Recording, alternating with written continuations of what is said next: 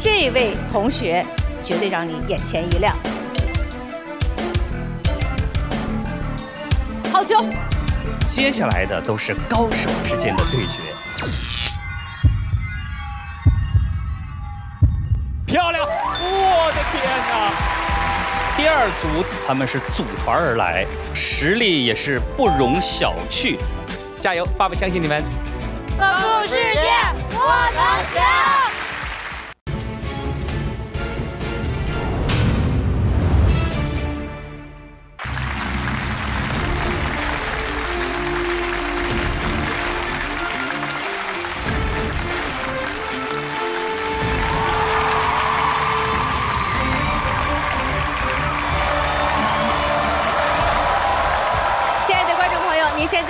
收看的是中央电视台综艺频道为大家带来的节目《多彩少年》。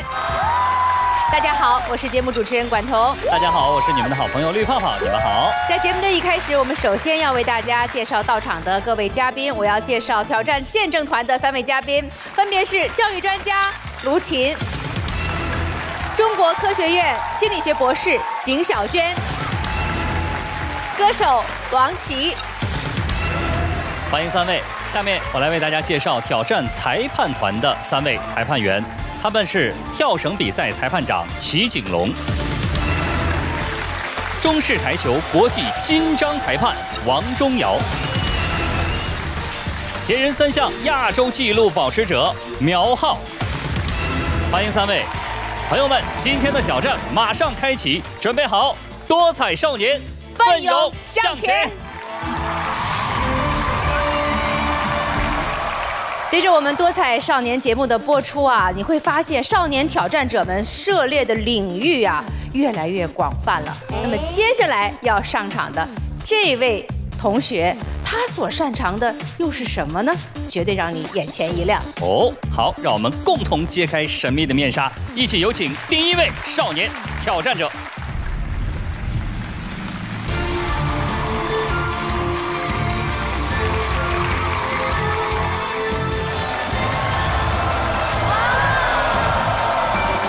姓名刘宇乐，年龄十岁，身高一米三八，所在地区河北承德，基础技能打台球，大赛经验一颗星，发展潜力八颗星，淡定指数八颗星。欢迎你，刘宇乐同学，来，欢迎。好，我哥哥好，管彤姐姐好，你好。来，请做一个自我介绍。大家好，我叫刘宇乐，今年十岁，来自河北承德。今天来参加挑战是给自己设定什么小目标了没有啊？今天我来的目标就是和王忠尧裁判一起打一场比赛。啊！哎呀，目标非常的明确，直指我们的钟尧裁判啊！但是是这样，想挑战我们的叫金章裁判不是那么容易的。我们先来考核一下，看看你具不具备跟我们金章裁判对决的实力，可不可以？可以。来。那我们先准备台球桌，来说来就来。好，娱乐同学，你看台球桌我们已经准备就位了。接下来呢，我们就要准备那位隐藏的高手了。他是一位冠军，深藏不露。关键是，此时此刻他就在我们的挑战现场。没错，用你的一双慧眼来找一找他到底是谁。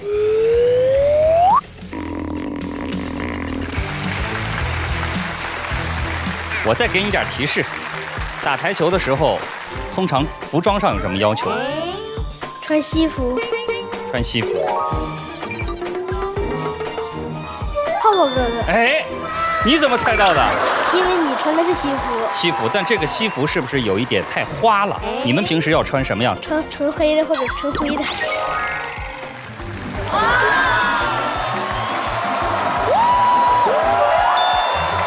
没想到吧？花枝招展的背后，是这么一个纯灰色的马甲在这。气场上感觉我的水平各方面，肯定是非常的厉害。为什么？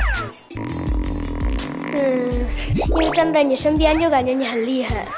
感觉到一种杀气，有没有？有。哎，你看没有？这距离一一下子就拉开了。来，往往往我这边靠靠。越说越往那边走了，我告诉你，而且我还有秘籍。嗯，这里边全是台球秘籍。认识字吧？认识。念一念。念这句：高手不敢当。请往这边看，这是我们的台本啊！来，接下来我们来比试比试，好不好？好。来，有请我们的王中尧裁判，有请。钟尧裁判一上场，就注定接下来的都是高手之间的对决。来，拿起勇气和信心来，不要紧张啊！那么我们首先进行的一个较量，就是最基础的五分点的考验。就是把目标球摆在球台的正中间，把白球摆在开球点的位置，形成一条直线，然后把目标球打入底袋，看谁进的数量更多一些。打几个呢？我觉得对于高手来说，标准怎么也要十进八的一个标准，可以称得上是高手。敢不敢应战？敢。就这么定了，来吧。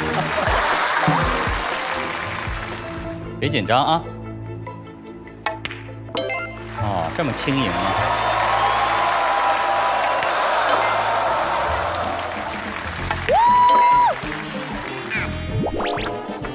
第几次来北京？嗯，第二次。烤鸭吃了没？这次？吃了。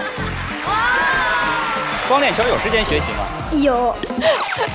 他 最气人的，他还回答我，完全不受任何干扰。哎。但是啊，我是这样，如果在实战之前没有任何的失误的话，一会儿实战的时候可能会影响发挥啊。好吧，那我再影响也没有什么意义了。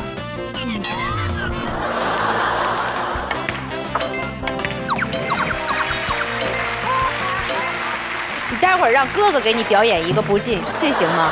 好。让你看看高手是怎么做到收放自如啊。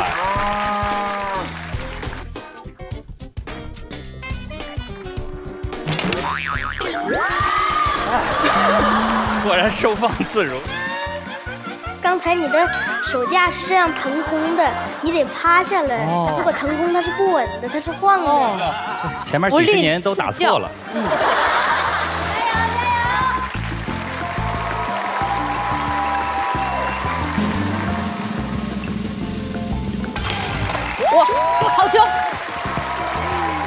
太不容易了，确实调整了一下手架啊。五分点，它是一个看起来比较简单、比较基础，其实是很难的。它对选手的考验是什么呢？考验的是你的姿势、手架以及稳定性，甚至是心态的一个考验。它是非常重要的一项训练，并不是大家看起来那么简单的。不要以为我的这个实力真的就那么弱。我们来看一看王琦老师 试一试刚才那个五分定点怎么样，好不好？来，我特别不想上去。刚刚听这个泡泡哥说话的语速越来越快，我就知道你心虚了。娱乐，你帮我摆一下好吗？好。嗯，我觉得在我眼里，娱乐已经是大师了。嗯，十个球都进了。嗯，这个是你刚刚打的那个位置吗？是。是哈。嗯。好，我试试。来，你帮我调整一下。能进，打吧。这个明显是进了，哎，进了，进了。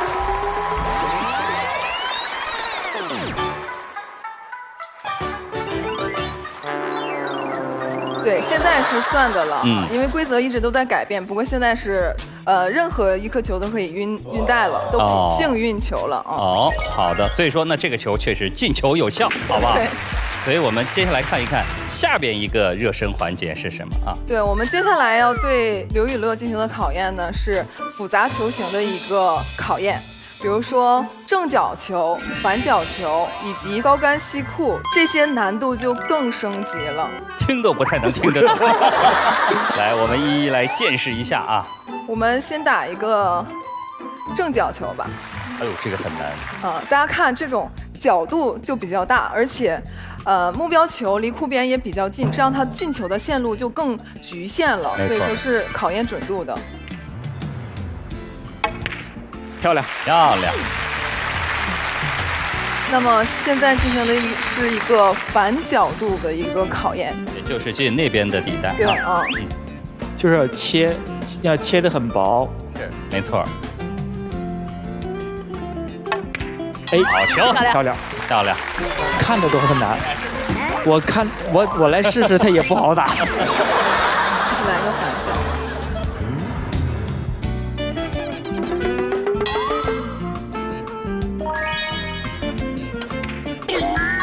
不好打，又进了。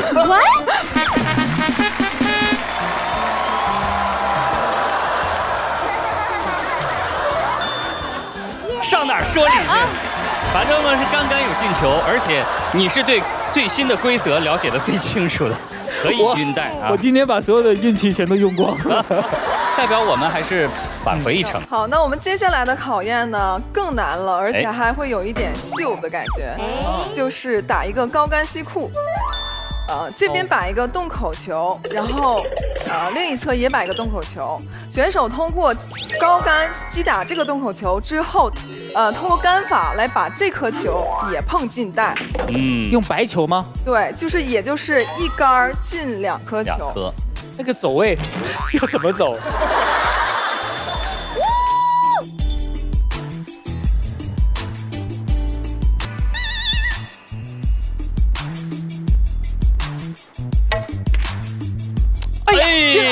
好球，好球，好球，很厉害，很厉害啊！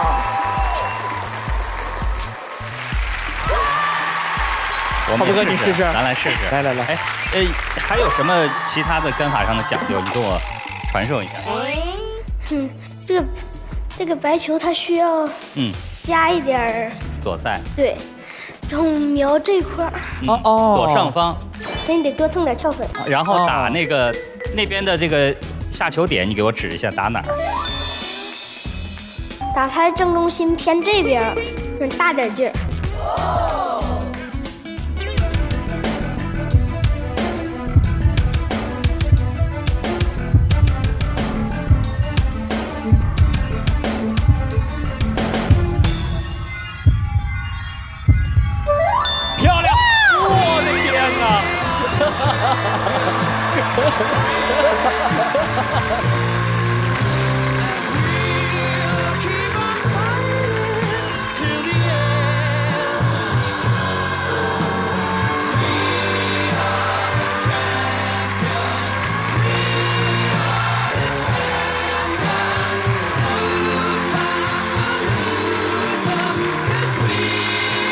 彩少年的观众朋友们见识到了真正的隐藏的高手，哎呀，太棒了，太棒了，太棒了！哎呦，主要是我刘老师指导的好，对不对？把这个点位讲得非常的清晰，包括击球点，我也是人生第一次。导演这段给我留着啊，发到我手机上啊，一定要发给我。我后半生就指着这个来鼓励自己，做成动图，世界冠军级的水水平。至少刚才那一杆，对。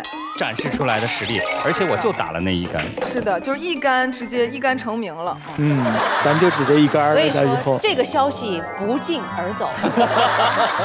接下来我就会收到很多的。请战信，王七哥就非常擅长多库翻带进球，觉得这个难度是更高的啊。或者说在晕带上面有天分，就是蒙呗，就是全靠蒙，全靠蒙。好的，好的，那我们也谢谢王琦的参与，谢谢，谢谢，谢谢谢谢刘老师，加油哈，期待油，加油。嗯，我听说你有这个一杆清台的经历，是这样吗？是。你平时在练习的时候，这样的比例大不大？嗯，不大。真的假的？真的，咱真有，咱有视频为证。对。不信给大家看一看。看看。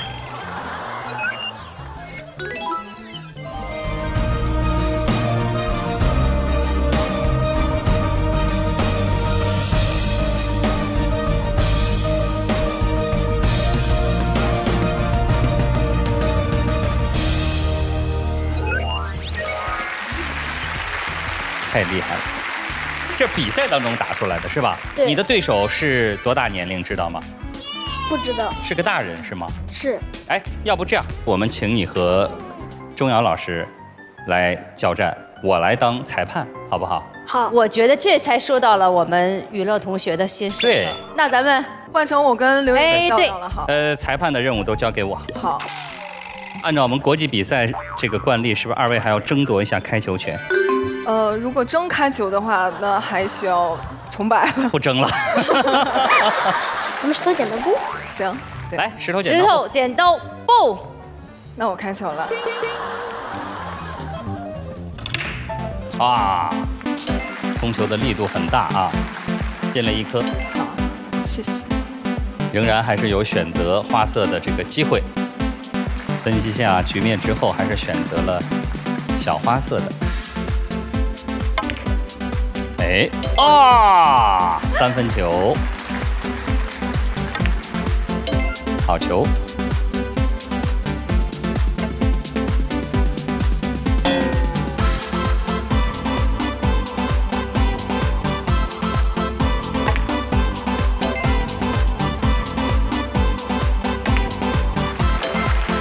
好的，但是这颗球位置不是特别的理想，中带有一定的难度啊。好球，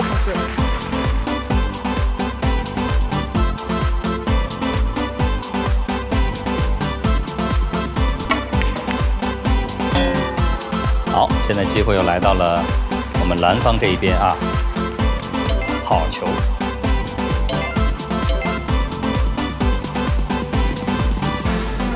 这个球确实很有难度。您要擦球吗？不要，不用。这个难度也是非常大。刚才如果擦一下，也许会进。对擦一下，没准就跑这儿来了，啊，更好打了。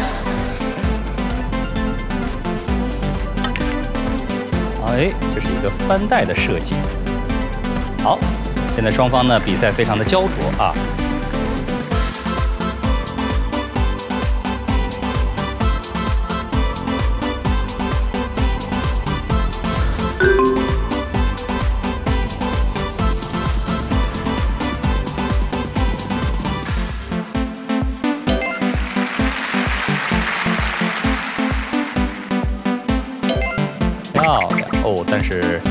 这杆的母球的走位并不理想。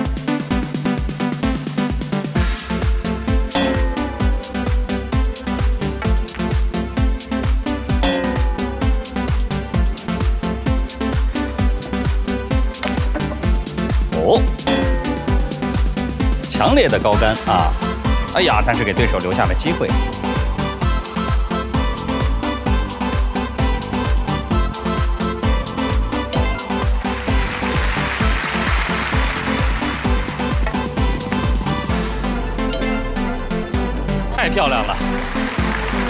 场上局面发生了变化。是的。好，情况发生了突变，最后是选择打中带还是底带呢？稍等，要不要擦一下母球啊？要要遵循裁判的意见。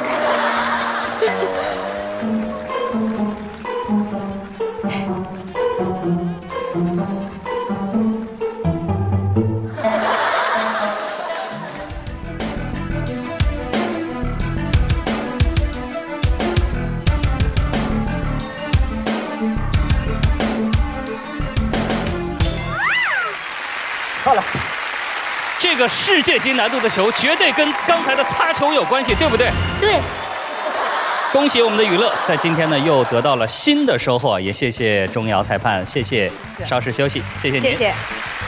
哎，据我所知啊，有一些台球运动员，包括成绩非常优异的，是受到了家庭的影响啊。呃，小的时候可能是和爸爸妈妈呃在一起接触的台球。你小时候台球是和谁学的呢？那是和我爸爸，哦，也是和爸爸学的。那现在你打得好，还是你爸爸打得好？我打得好。哦，那我心态就好多了啊。原来爸爸也打不过你了。我们问问妈妈是这样吗？是他爸现在根本打不过他。哦，所以爸爸今天就没敢来到现场，是吧？对你看人家多有自知之明，早知道我就不应该上这期节目，对不对？哎呀，那接下来呢？虽然说刚才有特别出色的发挥，但是呢，你还有更重要的任务，就是挑战新的难度。大声的告诉我们有没有信心？有，好，一起喊出我们的口号：多彩少年，奋勇向前。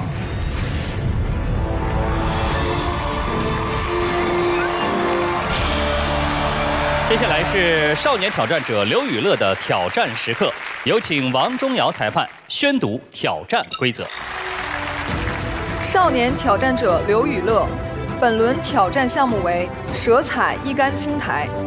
挑战规则如下：在球桌两个短裤之间等距摆放十五颗目标球，按照顺序依次将目标球打进袋，且白球不吃库。击球过程中，白球不可触碰到其他目标球。本轮共有两次挑战机会。不能吃库，意思就是白球母球在打其他那一排球的时候，不能碰到四周的任何一个边，不能碰到一下。只要你走位有一点点的失误，角度一大，就一定会吃库。我觉得是这样，把球摆上以后，可能我们就更加直观了，好吗？来，请中央裁判做一下准备。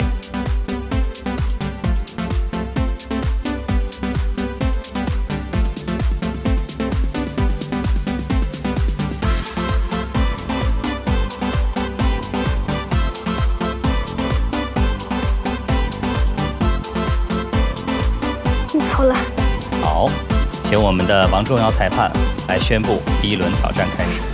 嗯，好，那么我宣布第一轮挑战正式开始。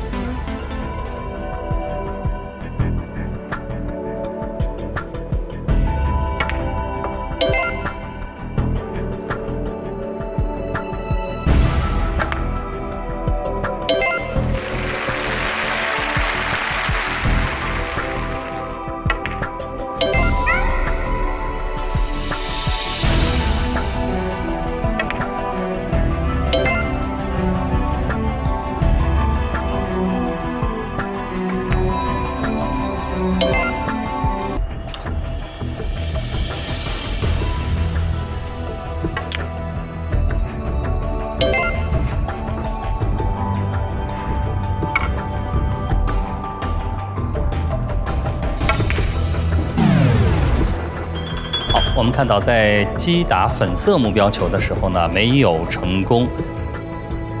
最终的结果呢，还是请王中尧裁判为我们宣布一下。嗯，我宣布第一轮挑战出现失误，没有成功。下面进行第二轮挑战。好的，还有一次机会，来，请您把目标球复位。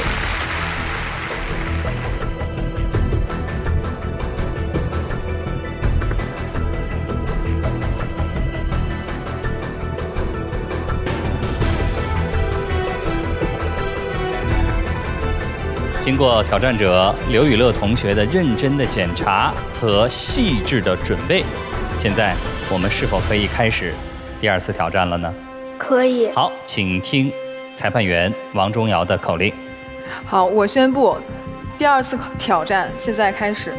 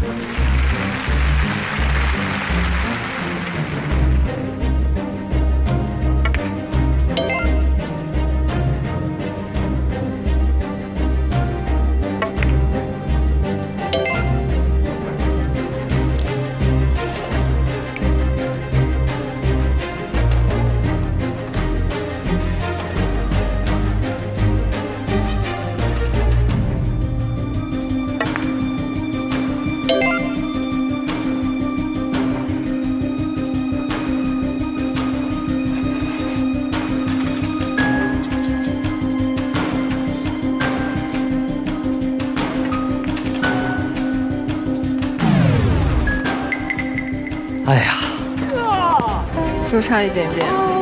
刚才跟中央裁判也在探讨这个一系列的十五个球的走位，它是一个整盘的线路，它都在脑海里，不是随便打的。但是这个当中呢，有一点点偏差，都会影响他接下来整盘。所以我说，台球最难的地方和它最大的魅力，它是一个要去跟围棋有点像，必须具有全局观的一项运动。这个对孩子的这种包括逻辑思维能力啊，都是很好的一个培养。呃，当然呢。确实，这个案子呢也是刚上手的时间不是很长，出现一点小小的失误也非常正常。还是请我们的中央裁判来宣布一下最终的结果。本轮蛇彩一杆青台挑战结束，挑战者未能按规则完成一杆青台，经裁定本轮挑战成绩无效，裁判王忠尧。所以在这里也遗憾地宣布，刘以乐同学没能挑战成功。不过你的精彩和你的努力，我们大家都感受到了。好，也谢谢钟瑶，谢谢，谢谢，谢谢钟瑶裁判。其实雨乐同学呢特别有人缘啊。这个前两天我们在录其他期的时候呢，他就在旁边练球，导演就跟我们说：“哎呀，这孩子太好玩了，而且特别可爱。”到了北京。别的孩子都出去玩了，他就在这儿默默地练球，特别执着的一个孩子。所以我觉得这一次挑战的失败确实不不算得了什么，因为不是你整体实力的一个体现，它有很大的这个偶然性。我们来听听几位老师对你有什么要说的。乐乐，我想问你，你那个球没进是什么原因啊？嗯，太紧张了。太紧张了，紧张以后会发生什么问题啊？嗯，比如手会抖什么的。哦，手会抖，所以我觉得其实你没有失败，你只是没有成功。没有成功的原因是你紧张了，所以你就没有发挥到你的水平的极致，是不是这个道理啊？是。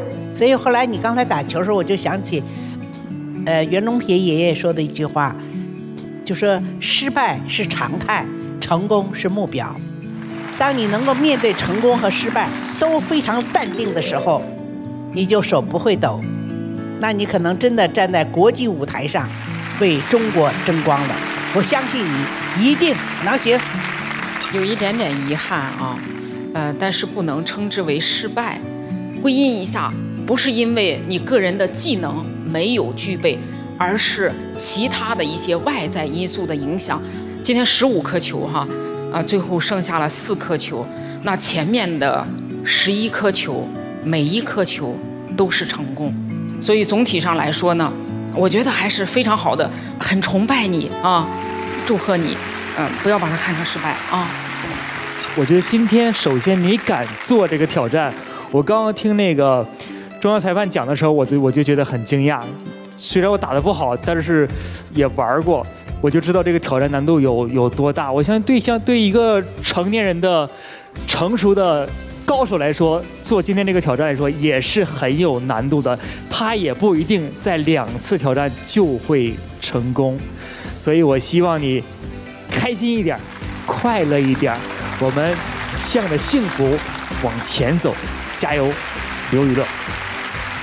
谢谢谢谢两位老师的寄语。我记得今天雨乐一上场的时候就说，实际上参加多才少年，除了要完成挑战，更重要的是希望可以积累实战经验。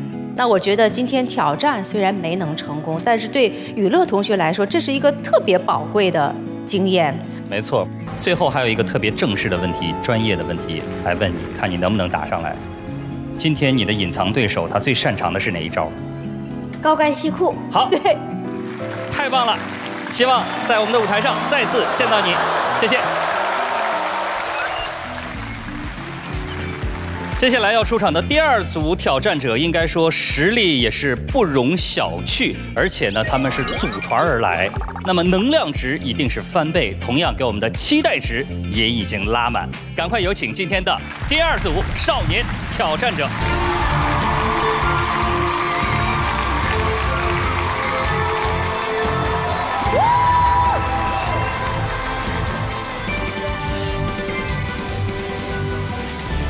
团队名称：梦想之家，年龄范围十一到十五岁，身高一米五到一米六，所在地区辽宁鞍山，擅长技能长跑，体能指数八颗星，耐力指数八颗星，实战经验两颗星。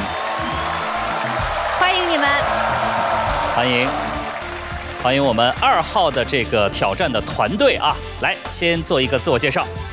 大家好，我叫王岩佳妮，今年十五岁。大家好，我叫王金月，今年十四岁。大家好，我叫许金正，今年十二岁。大家好，我叫王天赐，今年十一岁。欢迎你们！刚才从介绍当中，我们也听出来了，这个挑战的团体呢，比较厉害的是体能，是吧？对对。体能指数八颗星，呃，肯定都很厉害，谁更胜一筹？我王天赐厉害，王佳妮比较厉害。许正厉害，厉害。王佳妮厉害，许正厉害，他挺厉害。很谦让啊，看来实力很平均，是不是？哦，也就是说，两个女生丝毫不弱于你们俩，是吗？呃，对，没错。哎，你这是刚有不同意见，你想说什么？大胆说出来。呃，基基本上都挺厉害。哎呀，说到体能啊，不光你们厉害，我们现场可真是有一位体能王者——铁人三项赛这个项目，听到过没有？听过。下面让我们通过短片一起来看一下苗浩裁判取得的成绩。铁人三项中的三项是指游泳、自行车和跑步。比赛距离分为长距离比赛，也称大铁；短距离比赛以及奥运会距离。二零二二年五月份，苗浩以八小时二十九分五十六秒的总时长，成功突破九小时大关，刷新了大铁的亚洲纪录。他当时的成绩是三点八公里游泳用时四十八分三十六秒。一百八十公里自行车用十四小时三十四分十四秒，马拉松用十三小时零六秒，成为目前铁人三项亚洲纪录保持者。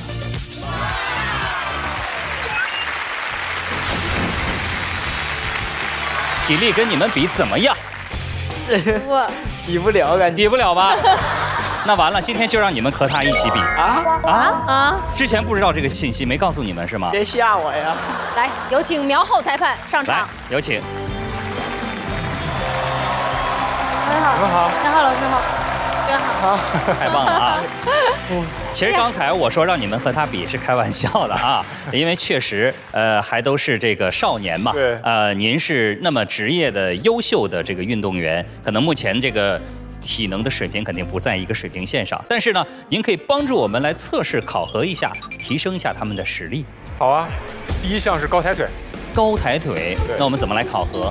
首先是先说动作，动作是你的小腿跟你的大腿的这个夹角是要在九十度的，你的躯干跟你的大腿的这个夹角要小于或者等于九十度，单脚落地算一次，我们要一百八十秒，也就是我们三分钟。这这这个难度如何？有信心，可以，有信心，可以，谢谢。来来，准备一下。好，一列排开，三分钟。嗯，高抬腿，计时，开始。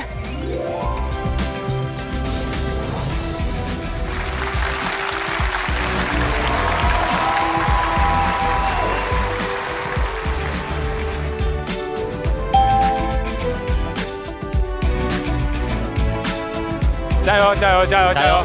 你们记住注意，一定要注意你们的动作，加油！没错，而且我从侧面看啊，非常的明显啊，四位同学的动作整齐划一，步调一致，对，是不是？是。你看，我们如果这边有机位的话，大家可以清楚的看到啊，从侧面看，大家抬腿的频率啊，然后左右的这个顺序是完全一样的，看得出来他们平时在一起呢，经常的配合，经常在一起训练。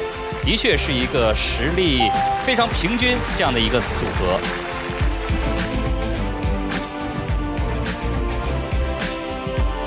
加油！其实我们现在可以通过他们所佩戴的耳麦的这个扩音的这个效果当中，可以听到四位同学的这个喘息声啊，说明他们现在的这种对于他们的这种心肺功能啊等一些身体机能已经调整你们的呼吸，加油！还有最后的三十秒。对。相信你们一定能行的，加油了！嗯，好，加油！再冲一冲啊！相当于进入到最后的冲刺阶段了啊！没错，我们的男二十秒。好，男生还反而加快了速度啊！哦，加油加油加油加油！好，保持好自己的节奏，还有十秒，我们最后十秒，10秒掌声不要停，给他们鼓励一下。八、七、六、五、四、三、二、一，好！哇！啊，非常棒赶快缓一缓，需要呃走动一下都可以走动一下啊走动一下来我们喘气走一走，深呼吸走一走，调整一下，调整一下对，非常棒非常棒。这个可以说是上来就是一个高强度的对呃热身。我对苗浩裁判多多少少是有一些意见的啊。为什么一上来给我们上了这么大的强度呢？因为刚刚小朋友的说的体能也非常的好，他们是八型的体能，所以给他们增加一些难度。另外，高抬腿的话，这种可以让他们刺激他们的心肺，让他们一会儿在挑战当中可以去更好的去跑动起来。哦，也是一个很好的热身了啊。对对对，好的，那刚才第一轮的考核，三分钟高抬腿如此高的强度，我觉得胜利完成。啊接下来还有没有考核的项目？平板支撑，哎这个好像听上去相对温和一点、啊，温和一点啊。但是但是我们增加点难度啊，怎么难？我们需要去有一些花式的这种平板支撑。还能这样吗？对，恕我孤陋寡闻了啊！我们来倒要看一看如何花式平板支撑。来，我们做一些准备，我们来看看。好的，来看一看。哇，居然有这么多八级！天哪！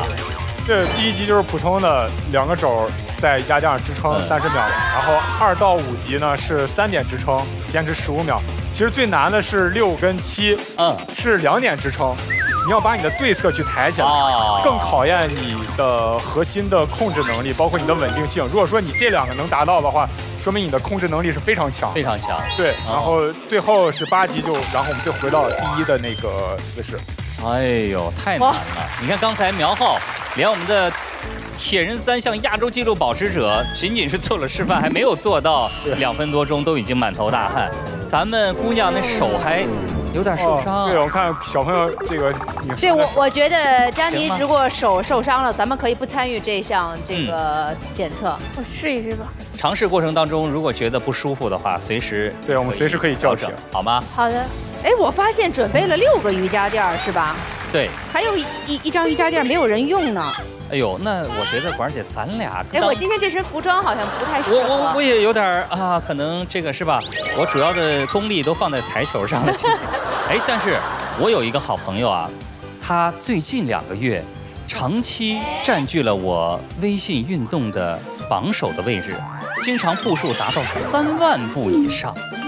他的名字叫齐景荣。哎，哎，想必您可以代表我们来试一试吧。好，欢迎欢迎，来，各位做好准备啊！先是一级普通平板支撑，时长三十秒。好，来，开始。一级普通平板支撑，三十秒。这个呢，我觉得大家相对来说，反正我是完成也是没有问题的，但是到了后面 就不好说了啊。两个女生的要把你的身体稍微抬起来一点，对，啊。对，核心还应该再给一些力量啊，稍微这块不要塌下去，腰不要塌腰。对，这个位置，对，要绷住。好，三秒，一秒。好，二级左手悬空，左手悬空，时长是十五秒。好。来，我们看齐裁判还有一个造型哈，哎呦，齐裁判很可以呀，但身子不能歪吧？三身子二齐老师啊，一，现在好，现在三级动作，右手悬空，三点平板支撑，坚持十五秒。哎呀，齐裁判可以呀，出汗了，游刃有余啊！八、七、六、五、四、三、二，四级左脚抬起。好，哇，哦李老师这脚抬得很高，哎呦，这跳跳是好，好，太高是不是也不好？六、五、四、三、二，换五级，右脚抬起。十、OK，九、八、七、加油，六、五、四、三、好，难度上来了六级，左脚抬起，右手悬空，哇，加油！两点支撑。加油加油！如果说你们觉得真的控制不住自己的身体，我们就停。对，可以暂停，没有关系。三、二、一，右脚抬起，左手悬空，进入七级。齐老师，顶住！右齐老师加油啊！右脚右脚抬起，左手悬空。我们嘉宾团的加油希望，！加油！加油！全村的希望就在你这儿了。三、二、加油！一，回到平板支撑，八坚持十五秒。而且两位女生确实，我觉得好像反而到最后还更稳了啊！对，你看，特别的厉害。好，五、四、三、二、一，好，胜利！太厉害了，不错。这佳妮手有点影响你的发挥了吗？有点，是吧？就是嗯刚开始总感觉要坚持不住了，但是你怎么仨也要又起劲儿了。你有没有注意到边上的这个齐老师，他的这个呼吸声是不是变得越来越急促了呢他？是不是有点影响你？实话实说，没有，有没有？没有。我建议你也来试试。哎，我不行，我不行，我下面的任务我担子还很重，哎，哎呀，来，咱们给苗浩还有齐老师鼓鼓掌啊，哎，还是很厉害的。刚才经过两轮的这种的呃尝试，觉得我们是不是能够配得上叫体能指数八颗星？配得上。我觉得大家完成的都很好，并且他们的这种敢于去挑战呀、包括敢于去突破的这种精神，是非常值得让人尊敬的。但是，呃，我还是建议大家去有一个循序渐进的这个过程。如果说我们受伤了的话，那我们就不会进步的。好，谢谢谢谢。保护好自己，然后再来做各项运动的挑战。是的，希望你们能够牢记在心。对，好了，那恭喜四位同学顺利通过我们亚洲纪录保持者苗浩老师的体能考核，恭喜你们！恭喜！来，谢谢谢谢齐老师的参与，也谢谢苗浩，谢谢。哎呀，刚才在一起，我觉得大家既有这种互相团结，又有这种 互相比拼的这种感觉啊。这种互相比拼的情况，平时会经常有吗？会的，我们在家是都会互相比着干。你说的这个家家是吧？对是指的梦想之家吗？是对，啊，这是一个什么样的地方？我们很好奇。嗯，怎么讲？你给给我们大家介绍介绍介绍一下。这家里有很多兄弟姐妹，不止我们四个，现在在家里还有五十多个。老爸人也特别好，老爸对指的是谁？这个家的核心人物 就是现在在嘉宾席上就坐的这位笑容可掬的老师吗？对对，哎，您好，您好百见老爸。哎呀，你好，你好，您太幸福了！哎，咱家里真的有那么多孩子吗？是的，是的，呃，五十多个啊。对，现在有五十二个，哎呦，那就是曾经还有更多的孩子。对，现在已经有一百二十多个从这家走出去了。哎，你们四位是呃什么情况来到这个家里的呢？能不能给我们简单的介绍一下？我是因为怎么说呢，就是我父亲去去世了，可能是在我刚出生，还是哪里，我也不知道。我妈妈也就就是体弱多病，家里也穷，就是供不起我上学，就把我送送到这了。我就在这练体育。来到这儿以后，是不是就特别喜欢这个家？对，嗯，我是因为当时是父母就是体弱多病嘛，然后我还特别的叛逆，就不服管，然后当时我爸就从网上了解这个地方，然后给我送过来了。哦，你还曾经是一个叛逆的少年，对，但是现在我感觉你身上满满的正能量啊，哎，变化还是很大的啊。来，我们静月呢？就是父母不在一起，然后我妈妈就是重病，然后当时我就不怎么喜欢和别人交往，就是有点小抑郁、小自卑。后来我就不想在那个地方待，我就告诉我妈我想转学，我妈就是到这儿就给我送这儿来了，之后我就变了。到这儿就不觉得自卑了，觉得跟同学们都非常和谐的相处。对，因为他们都很热情、很亲切，就是主动关心我、帮助我，就很好，真的像一家人。真的很温暖，是吧？那佳妮呢？我是在十一岁那十岁那年，我爸去世了，我妈妈身体也不好，为了赚钱，她出去了，那时候没有手机，我没有手机，没有联系不着我妈。我还有个弟弟妹妹，家里三个孩子。当时我带弟弟妹妹一个人，就上外面捡菜之类的。之后我喜欢体育，我喜欢跑步。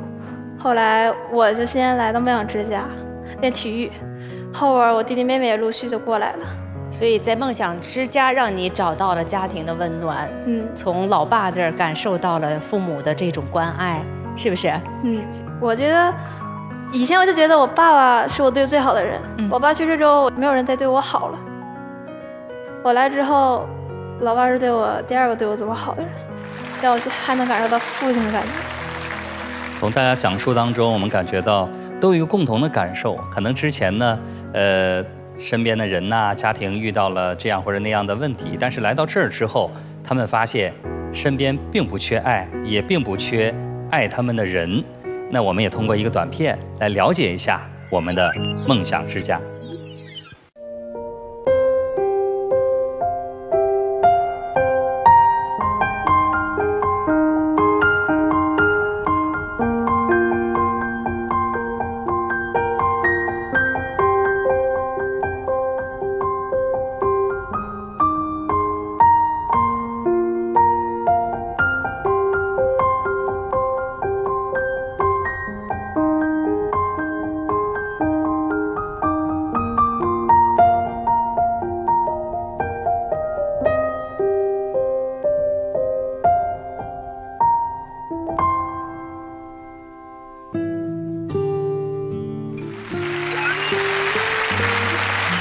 有他在，我们就有家，真的是孩子们的一个精神的支柱啊！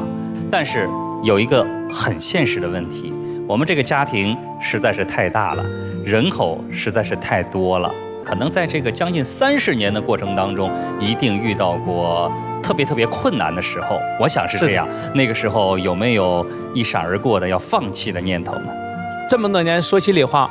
没想过放弃孩子。简单的说，咱养小猫、小狗、小动物都有感情，何况养孩子？这些孩子，大家你看到了，他们是非常纯洁的，那份真、那份那种善良、那份心里那种对你的爱，哎呀，是没法用语言形容的。所以说，根本不可能放弃。在他叫我爸爸那声起，我觉得这份担当和责任就得承担起来啊。呃，并且我也跟孩子们说过，啊，不管怎么样，爸爸不会让你们辍学。最起码在这家里让你吃得饱穿得暖，我可以对每一个孩子说，让他成长路上能够健康快乐的成长，太棒了。一下子就坚持了将近三十年的时间，我们知道这其中真的是非常的不容易哈，也经历了千辛万苦。但是我们看到您坚持到现在，而且呢可以说是硕果累累，一波又一波的孩子成长起来了。呃，我听说在咱们梦想之家呀，有非常严格的家规，对不对？这都是老爸亲手制定的，是吗？是我和大孩子们，我们共同的开家庭会议，一起制定。嗯，什么样的家规呢？您给大家介绍一下。起码的，到梦想之家呢，都跟我练体育，因为我也是通过体育跑出来的，属于自己上的大学嘛，走出来的人生路。我觉得这条路呢，相对来说比较能行得通。所以说，我梦想之家的孩子到梦想之家之后，一定要跟着我练体育。啊，早晨四点半就要起床，一年三百六十五天基本是没有休息的。哦，天天都要这样跑。对，基本都是这样锻炼的。另外呢，呢，我们家还有一个家规，必须要读经典啊。这里要感恩我们的卢奇老师，他我看过他的一本书，就是呃每一个孩子都精彩啊。那里有第一章就是肯定的力量，每个孩子都有优点。这个世界呢不缺美，但缺发发现美的眼睛。到梦想之家之后，每个人到至少写出二十个自己的优点。通过这样的一个优点，不断的提那个提醒孩子，你就是这样的优秀的孩子，慢慢的又肯定，一点点的鼓励，他就越来越自信，越来越积极阳光。所以我感觉咱们这位孩子们口中的爸爸，他是一位教育家呀，他真的是非常的厉害啊。刚才说了，为了重塑孩子们的这种自信，呃，也给他们选择了体育项目，主要是以跑步、马拉松为主。那么在您的这个悉心的呵护之下。近三十年来，我们的这个大家庭也走出了很多人才，给我们介绍介绍。嗯，这么多年，现在有六十二个大学毕业的，呃，其中有十二个是二幺幺九八五重点大学毕业的。现在呢，还有十三个现役的专业运动员啊，还有十三个现役的军人，其中有四个在特种部队已经提干了啊，还有嗯，现在呢在读的还有四个研究生，八个本科在读的孩子。您这是一所重点中学呀！我跟你讲，太厉害了。哎，我就听了这个，我自己都会觉得特别振奋，特别振奋。你们四个会不会把哥哥姐姐们当做你们的目标？会会。那今天呢，我们即将迎来的挑战环节项目呢，就是接力跑的项目。呃，平时你们四个有在一起配合过吗？嗯，都是跟别人一起，我们四个没有单独过的。啊，都是大家一起跑，但是呢，这个和四个人这样接力，恐怕还有一点点的差别啊。对，因为这几个孩子啊，没有经过任何的大赛啊，我有点担心的就是他们可能还不够合理的分配体力。包括调整呼吸啊，包括那个配速啊，啊，但是这里呢，呃，宝贝们就是把心态放平，看淡失败，看淡荣辱，OK，加油，爸爸相信你们，谢谢，这是老爸对你们的这个最后的嘱托啊，这几句话，哎，我觉得是这样，因为今天是一个挑战，一个接力的集体项目，你像我们球队比赛之前，我们都会把手放在一起，来，咱们也是，每个人伸出一只手，来，对。然后一二三，一起大喊一声加油，好吗？拿出你们最大的声音来，一二三，加油！好的，太棒了。接下来的挑战，你们准备好了吗？准备好了。大声喊出我们的口号：多彩少年，奋勇向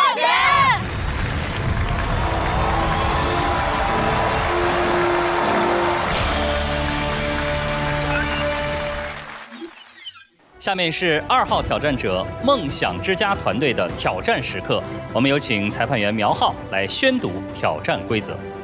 来自梦想之家的四位少年挑战者，本轮挑战项目为四乘五公里接力长跑。挑战规则如下：每人需独立完成五公里长跑，然后将接力棒交给下一位挑战者。四人通过接力的方式完成全长二十公里的长跑距离。总时长不得超过九十分钟。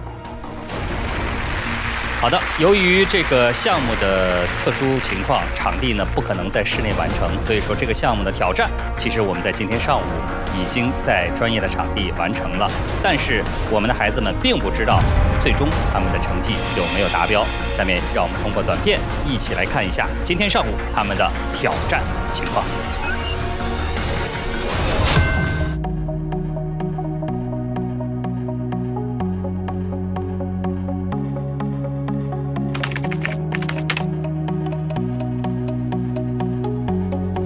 大家好，我是本次挑战的场外裁判刘萌。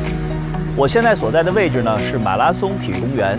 来自梦想之家的四位少年挑战者将在这里完成他们的终极挑战。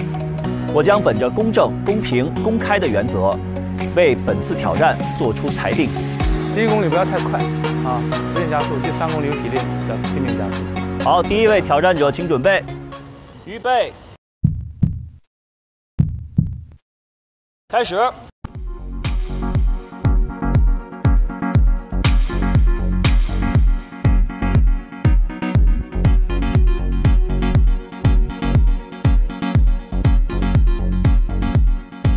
最后要冲啊！能听见吗？二十一分整，正常这个时候应该出现了。后边要有点压力了哈，天赐啊，要抢时间了啊！冲一下快点！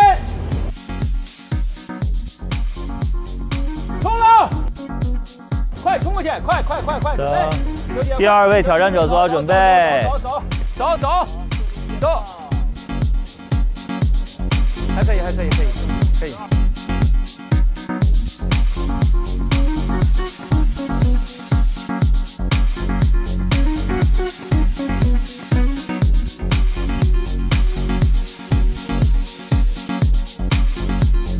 现在是四十二分整，这个不错，这个不错，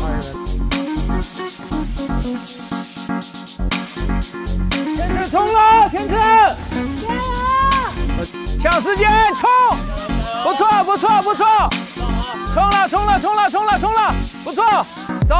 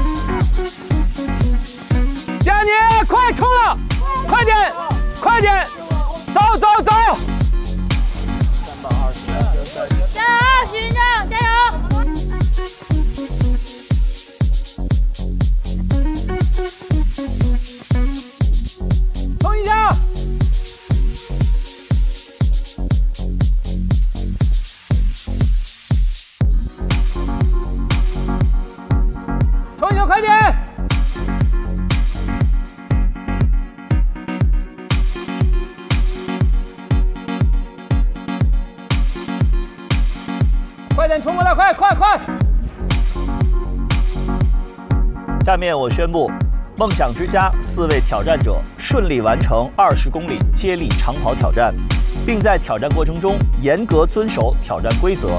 经裁定，挑战结果真实有效。我将把挑战结果交回到现场，请现场裁判进行宣布。我看到呢，在过程当中其实是出现了一点点问题，是吧？究竟他们有没有挑战成功？他们的用时是多少？请苗浩裁判来揭晓最终的成绩。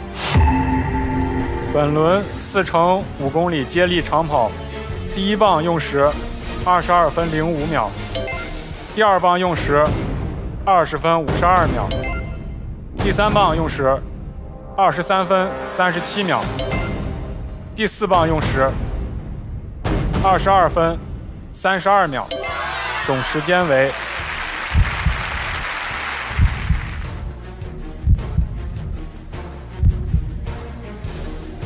八十九分零六秒。本轮四乘五公里接力长跑挑战最终结果在九十分钟内完成，且经过场外裁判严格裁定，过程中挑战者严格遵守挑战规则，未出现犯规现象。经裁定，本轮挑战成绩有效。裁判苗浩。所以现在我们可以高兴地宣布，梦想之家团队在多彩少年的舞台上挑战成功。成功了！恭喜你们，恭喜我们来自梦想之家的孩子们，恭喜你们！加油，继续加油，加油，加油！谢谢苗浩裁判，谢谢。确实，刚刚看了他们挑战的过程哈，可以说挑战现场状况频出，没错，吧？靳月是第一棒是吧？哎，什么感受？就是有点担心，因为我是第一个人，如果我拖时间太久的话，就得第二个人去抢；要第二个人抢不回来，就得第三个人。要是每个人都能把这时间抢回来，那最后还是压力在第四棒上。嗯，就是到后边都是腿是酸的，但是我还是要冲刺。因为我要给下一个人争取更多的时间，就开一个好头，奠定一个好的基础，是吧？对。集体项目就是这样，必须要强调互相之间的这种配合才可以。其实你们今天的挑战，你们今天的在场上的表述还有表现，我们下边的见证团还有裁判团的各位老师都是深有感触。呃，是的，因为我也是从辽宁走出来的，也是跟他们一样从小练起来的，通过体育考上了中央民族大学，然后我们也是每天早上五点就起来开始练，每天晚上练完了都已经七点多了，所以只看见他们成功，没有人知道他们背后付出了多少的辛苦，嗯，有的时候说说出来自己都想哭，就是。没有那个时候的点滴的积累，就没有今天现在的我。真的为他们感到自豪。谢谢，谢谢李老师感同身受。是。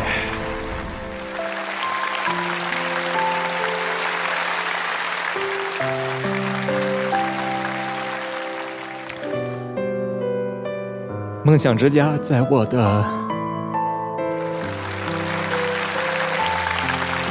不好意思，梦想之家就在我的家乡 辽宁鞍山，但我之前不知道。我为你们今天的表现感觉感到很骄傲，我觉得你们都很棒。呃，我希望你们都能够挺起胸，抬起头，往前看，去往希望的那条路。就是我们脚下奔跑的那一条路。你们今天让我们看到了你们勇于挑战的勇气，还有你们坚持不懈的那种意志力。你们的未来，我们共同期待。我会回鞍山去梦想之家看你们。谢谢老师。刚才我们老爸说。看过我写的一本书，让每个孩子都精彩。肯定的力量对你们多么重要！我今天想告诉各位，老爸再期望你怎么好，也不如你自己有梦想自己好。所以我今天想送给你们每人一本书，送给我们十岁以上的孩子每人一本，告诉世界我能行；送给十岁以下的孩子每人一本，做人与做事。我希望你们有一天真的对世界说我能行。我想，老爸的脸上会露出微笑，也不愧于社会对你们的关心和帮助。所以一会儿呢，希望你们四个人把你们所有同学的名单、几岁写清楚，把你的地址交给我，回去以后就寄给你们。希望你们能够勇敢的说一声，告诉世界我能行。我希望你们现在就说一下，好吗？告诉世界我能行。心理学上有一个概念叫具身认知，他想告诉我们，你的身体在做什么，你就会成为什么，你的大脑就会被塑造成什么样。当有了目标，你的心里头所有的内心力量就有了一个高高飘扬的旗帜。只要坚持，只要努力，你就能到达终点。在终点的时刻，在你们欢呼的那一刻，我体会到了幸福。那不是简单的快乐，所以我就在想哈，爸爸的这个梦想之家，他是什么样的梦想之家？他是用奋斗来追求幸福的，啊，这个梦想之家。所以为孩子们点赞，也为这个大家庭的爸爸点赞哈，祝贺你们！谢谢，谢谢简老师。梦想之家让每一个孩子都找到了自己人生努力的方向。我们也祝愿同学们能够成为自己人生马拉松的赢家，加油！是的，在这里非常高兴地宣布，我们的梦想之家团队成功入围多彩少年二零二三年度少年英雄榜。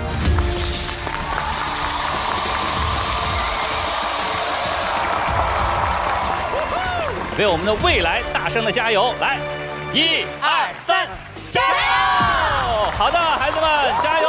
谢谢你们，谢谢，谢谢，谢谢，谢谢。